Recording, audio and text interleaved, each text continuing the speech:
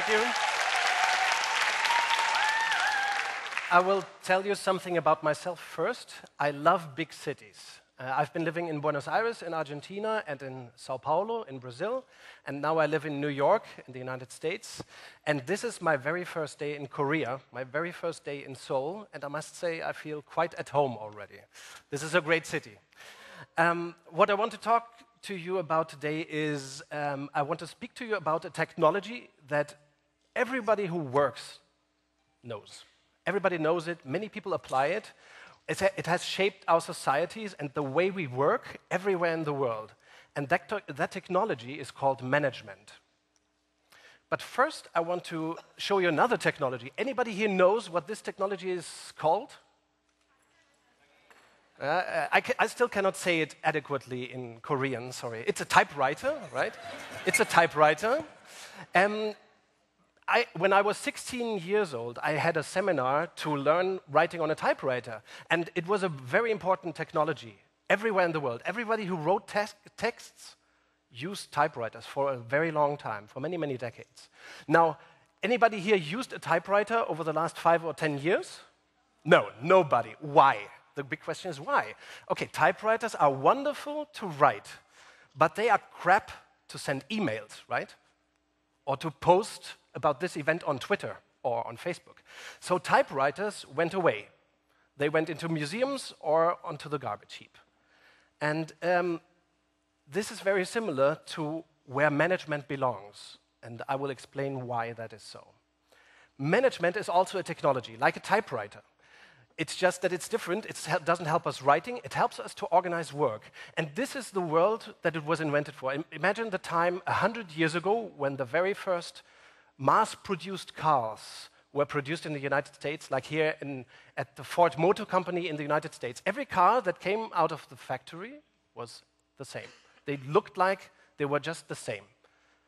And for that time, for the newly grown mass markets 100 years ago, and for those societies where very few people had adequate education, management was invented for that kind of work, to make it happen efficiently. And this is the inventor of management. Few people know his name, few people really celebrate him every year.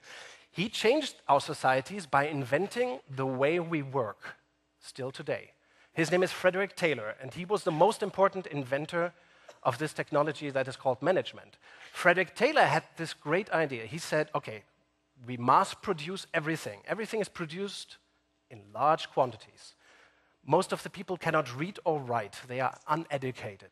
So, how should we organize work? And he had this great idea to separate the thinking from the doing, to take the thinking out of the doing. That's why he created, he helped create organizations where few people have to use their brains and most people just had to use their hands. Now, the irony is that was an amazingly, it was a wonderful idea for the industrial age, 100 years ago. But the irony is that we still apply the same technology today in our organizations. You can go to any large company anywhere in the world, and they still have this thinking. Thinkers at the top, doers at the bottom, and then we have command and control management. Everywhere in the world, this is applied, and you see it in the org charts and the methodologies. Few people think and speak, most people just obey. It's command and control. And this worked very well. It was very fitting for societies 100 years ago, 70 years ago, 50 years ago. But our society has moved on. Work and business and companies haven't. So we are still stuck in something like Soviet Union governance inside organizations. Countries like Germany, where I come from, or the United States, or Korea have moved to democratic governance Organizations haven't. Organizations, businesses, large companies still, they still think that people who think and govern are at the top, non-thinkers, stupid workers are at the bottom. And that is, it's not cool. It's not sexy at all. It's like we live in democratic societies, we work in Soviet Union autocracies. It's not really cool. So one might say the markets have changed, people have changed. We are all very much, much more educated as in our societies. than 100 years ago. Markets have changed. We don't do much mass production today. We have more individualized production and services, customized markets, very competitive markets, but we still govern our organizations, we still lead them in the way that we did in the industrial age.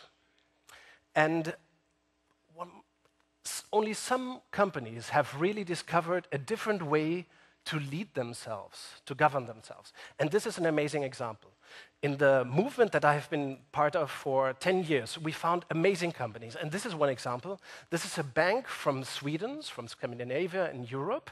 It's called Handelsbanken. They have, four, uh, they have 10,000 employees and no management at all. They simply don't have plans. They don't have targets about growth or how much you have to sell. They don't have bonus systems. They don't have an org chart like this pyramid structure that says that tells everybody who's about to think and who is about to obey. They don't have that. They don't have a strategic plan. They don't even have a marketing department. And they have been, for 37 years, Europe's most successful bank. For about four decades, this has been the most successful bank in Europe. And they don't do management. And there are some companies that have done this kind of thing. They don't believe in the industrial age notion of command and control, of dividing thinkers from doers. And the interesting thing is that work in this kind of organization is much smarter, much more interesting, and leads to much more learning also.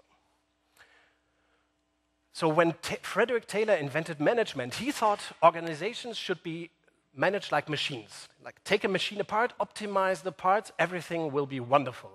An organization, a business, should work like a well-oiled machine. That was the thinking 100 years ago.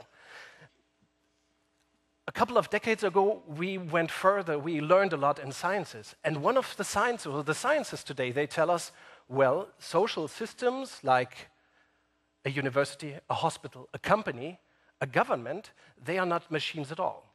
They are not pyramids that can be managed from the top down by command and control. They are actually less like pyramids, they are more like peaches. And being a peach organization means you are not governed from the top down, but from the outside in.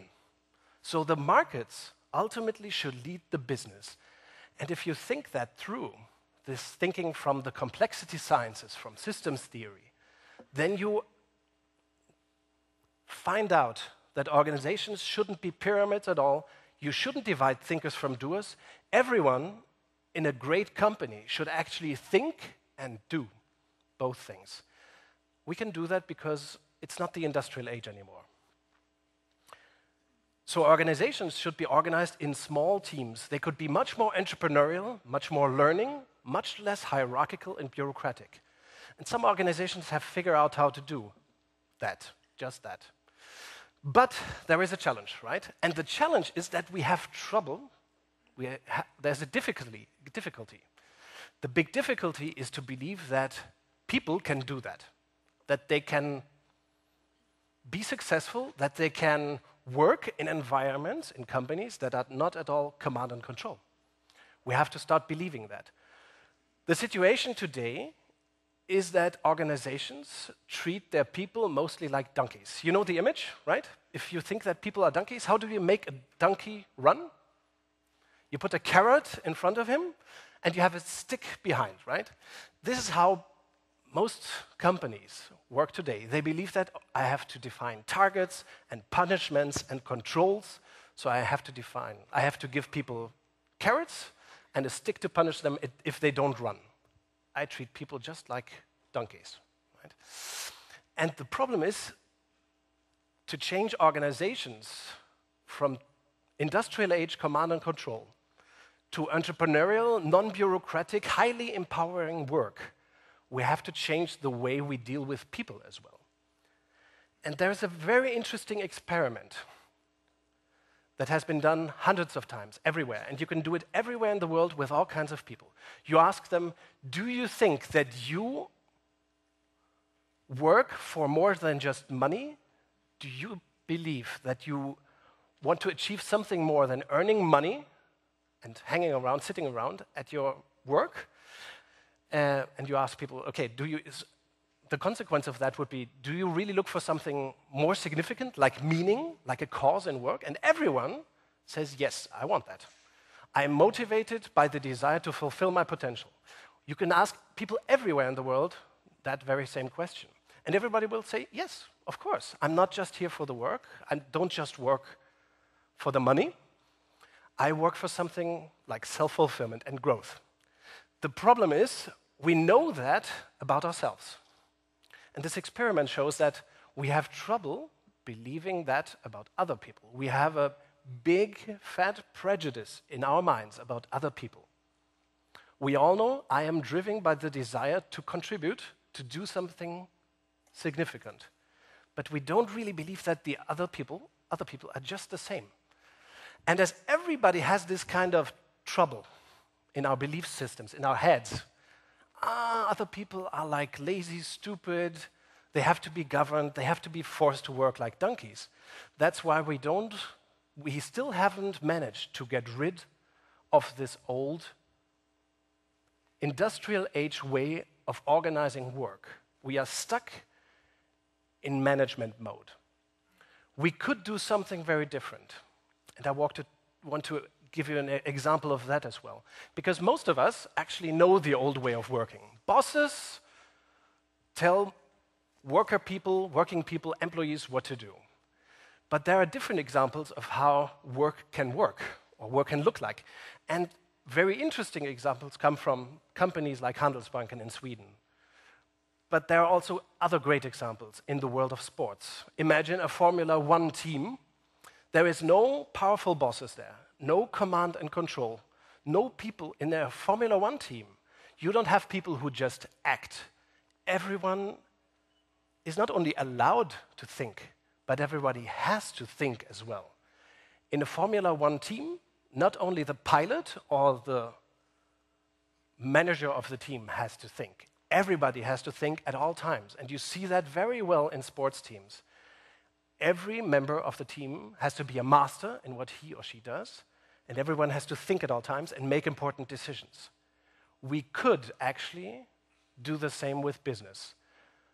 But that requires that we understand that command and control, Taylor's way of organizing the work, will not bring us there. So there are two ways of organizing the work.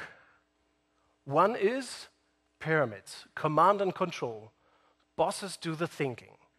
The other is we, we can start believing that people actually want to work, that they want to think, that they want to be creative and inventive at work, that they want to contribute to any organizations they are part of.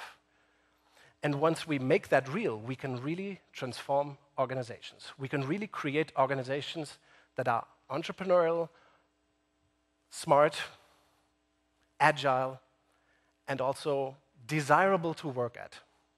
So, if we want to change the way that organizations work today, we have to change business, education and we have to change companies. That's a big challenge for all of us. Because still in business educations, everywhere in the world, we learn the way of command and control thinking, of not trusting in people, but to treat them like donkeys, treat them with, with lots of control, hierarchy, bonus systems, and punishment. We have to change management education or business education, and we have to transform organizations as they are. And for that, we need the belief about something that we already know that people actually want to work. That you don't, we don't have to force them anymore. The industrial age is over and we really can shape organizations differently. If you ask yourself, okay, who's doing it? Who will do it? The answer is very simple. We actually have to do it together, everywhere in the world. We have to apply a new way of thinking, a non industrial age way of thinking, a contemporary thinking for our world today. We have to apply it to both education and to organizations? And the answer is simply we have to do it together. There is no way to change organizations and the world by just changing a few people. We actually have to learn it. We all have to learn it in Korea and everywhere in the world. Thank you very much.